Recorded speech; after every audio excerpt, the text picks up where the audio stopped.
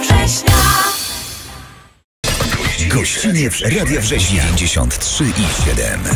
Przy mikrofonie Nadia Jóźwiak, a dzisiaj we Wrzesińskim Ośrodku Kultury będzie można przekonać się o tym, jaka jest siła muzyki. Ze mną są organizatorzy koncertu pod takim właśnie hasłem.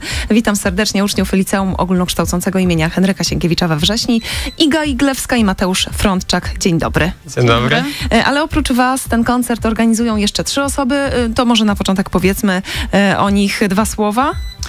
E, Są to trzy dziewczyny, Anna Wardęska, Antonina Wasilewska i Zofia Patelka. E, Słuchajcie, to wydarzenie nie odbyłoby się, gdyby nie ogólnopolski, nie ogólnopolski projekt. Prawdopodobnie by się nie odbyło. Mm, e, Projekt Zwolnieni z teorii. Na czym polega? Od tego zacznijmy. Więc tak, projekt ogólnie polega na tym, aby zorganizować jakieś wydarzenie społeczne lub ogólnie projekt, który poruszy jakiś lokalny problem lub po prostu pomoże społecz- lokalnej społeczności.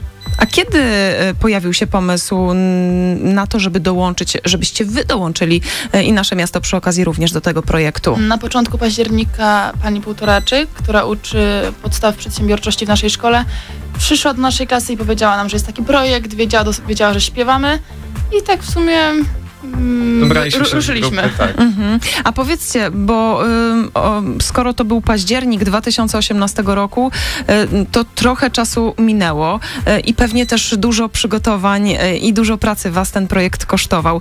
Y, Wyczytałam na stronie internetowej projektu Zwolnieni z teorii, że y, udział w takim przedsięwzięciu to także możliwość skorzystania ze specjalnych wskazówek, z y, wsparcia mentora. Y, Jak to wyglądało? E, Tak naprawdę każdą rzecz, każdy krok musieliśmy wy- wypełniać w form, w formularzu i ten formularz musiał zaakceptować nasz mentor. E, Z tym mentorem no, było dużo problemów. Było różnie, bardzo Było często się czepią jakieś na przykład, że no, on nie rozumie, co znaczy ten skrót, mamy wszystko rozpisać. Tak, wszystko musiało być takie dokładnie, e, dokładne i szczegółowe. Ale to oznacza, że też trochę się nauczyliście takiego planowania. Tak. I to Tak, wam pomoże dokładnie. w przyszłości, w być może w pracy? już musieliśmy Mhm. wszystko zacząć, e, planowanie takie dokładniejsze już na początku grudnia musieliśmy rozpo, rozpocząć. E, Gdzie się to wszystko odbędzie, jeszcze dużo było też zmian na, w tym tak, czasie. miejsca, w ogóle ludzi, którzy będą śpiewać i nawet samych sponsorów. Także dużo pracy was to kosztowało. E, Ale e, taki projekt e, zakończy się też możliwością odebrania certyfikatu, więc to też dla was no, taka korzyść. Tak, będziemy jeszcze teraz po już całym wydarzeniu i tak musimy jeszcze taki ogromny formularz wypełnić. Gdzie będą, musimy udowodnić, że wszystko to, co mieliśmy w planach realizacji zostało wykonane Tak. i tym podobne. No właśnie, a mieliście w planach realizacji koncert, o którym powiedziałam na samym początku, Siła Muzyki. E, Jak zrodził się ten pomysł, żeby to był akurat koncert? Co chcecie tym koncertem pokazać naszym mieszkańcom? Przede wszystkim chcemy pokazać to, że nasze miasto, a głównie powiat, ma dużo młodych, zdolnych ludzi. I ci ludzie, młodzież, no nie ma gdzie występować, bo jest dużo konkursów, konkurs piosenki miłosnej, języcznej, ale to są konkursy, to jest jednak rywalizacja, a nie ma takiego luźnego koncertu, gdzie po prostu mogliby wystąpić, się zaprezentować. A czy trudno było znaleźć chętne osoby do tego, żeby Nie. wystąpiły na scenie była wokół? masa chętnych osób. U nas w szkole, w liceum jest naprawdę sporo utalentowanych osób. Mm, Z okolic też wzięliśmy osoby starsze już ze, ze studiów. A czego możemy się spodziewać po tym wydarzeniu? E, Kogo zobaczymy, usłyszymy? Między innymi. Na pewno będzie około 20-22 wykonawców, w tym kilka zespołów, między innymi y, lokalny nasz zespół, w sumie lokalny, y, Jorba. tak, Mhm. który już wydał w roku swoją płytę. Jest ona dostępna na Spotify. Wystąpię ja, właśnie Ania Wardęska, Angelika Kaniewska, Zosia Cerbin, Klaudia Jankowska, która jest właśnie na studiach.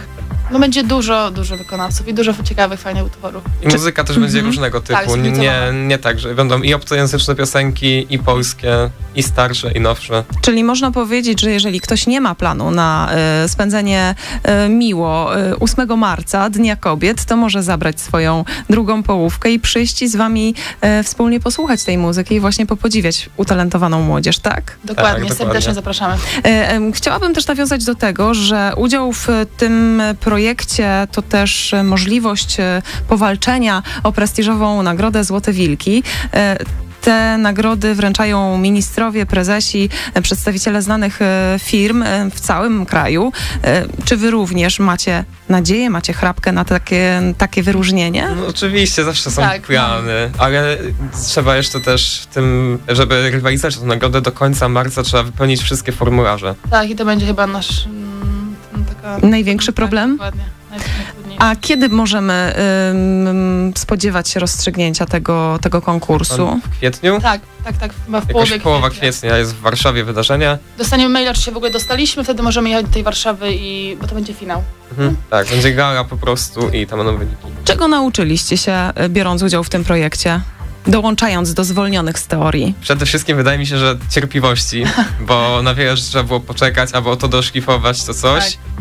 I spojrzenia na świat od takiej przedsiębiorczej strony, że e, Pisanie właśnie pism do, do, do sponsorów, załatwianie sal, ym, upominków, takich naprawdę rzeczy, których ja nigdy nie miałam w ogóle styczności, więc to było najtrudniejsze, chyba te pisma, nie? Się no, trzeba było wszystko wypisać jakby ręcznie, bo Tak, nie ma gotowych, nie ma tak. gotowych szablonów, żeby na przykład o sponsoring w ramach koncertu wszystko trzeba było samemu redagować.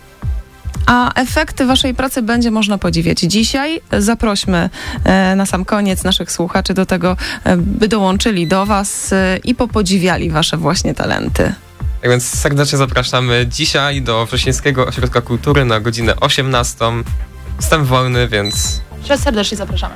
I będzie też mała niespodzianka dla wszystkich pań, prawda? No, jeszcze, jeszcze, jeszcze myślimy. Muzyczna. Muzyczna. muzyczna, przed Na nami. pewno. Muzycz- Muzyczna koniecznie.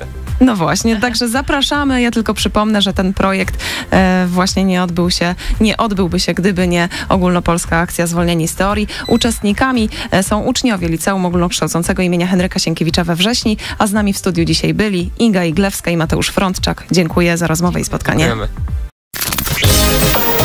Radio Września.